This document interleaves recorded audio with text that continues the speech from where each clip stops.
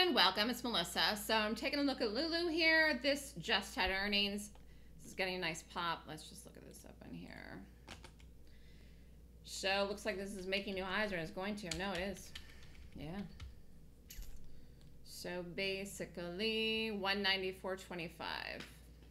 Man, this is going to need the market tomorrow. And I don't know if it's going to get it. But the, the market has been so volatile, it might. And that's going to be hard for everyone to read on its own. I I will take a look at this uh, in maybe an hour from now or something, like probably after 5 o'clock, and just see. But I think this has got to be aggressively over 200 to hold.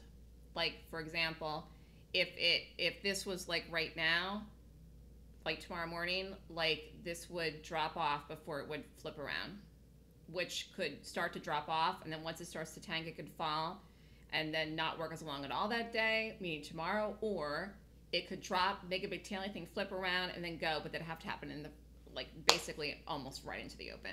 So this is better if it's bigger than what it is right now, which it's not. So I know everyone's probably salivating to go long because the market did rally today. I'm not sure if we continue that rally either way. In fact, I really have no conviction that we do, but who knows, we might. But either way, this thing here, uh, I think it needs the market unless it's up a lot, a lot more than it is right now, which it could be. It's early. So let's just say. So, I mean, this is just, actually, let me just look at this here.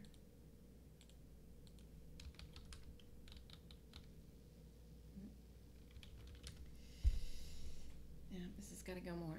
So we'll see. So I'll be watching this, and uh, the, the more is better for Lulu at this point.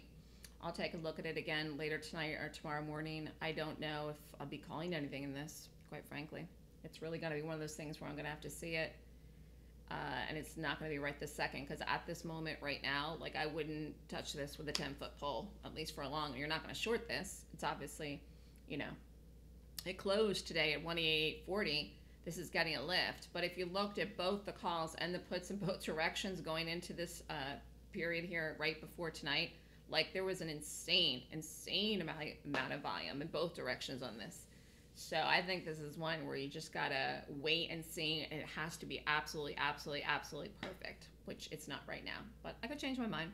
So that's a scoop on Lulu. We'll see where it goes tonight and tomorrow morning. Have a great night, everyone. If you're interested in the next Golden Gap course, it's September 21st and 22nd.